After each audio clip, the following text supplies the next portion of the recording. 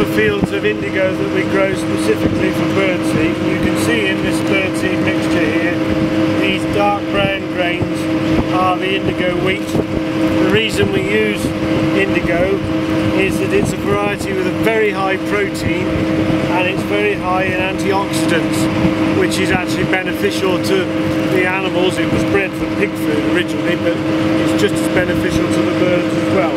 And weren't you one of the first farmers in the UK to grow it? Yeah, um, it was bred for pig food at a time they it roughly coincided when the pig industry went into one of its renowned troughs and so it was never Troughs. well, well done. Um, and so it was never taken up. But we, we use it for bird seed and the birds love it.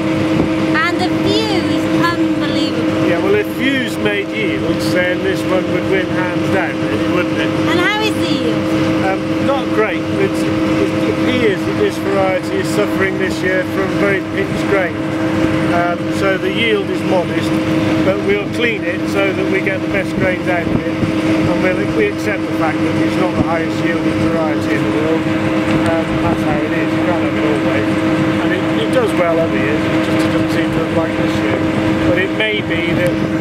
Thousand feet up here, it's pretty exposed. You can see an awful lot of Wales from here, and it probably didn't enjoy the experience. It's a bit dry, it was probably a bit cold in the winter.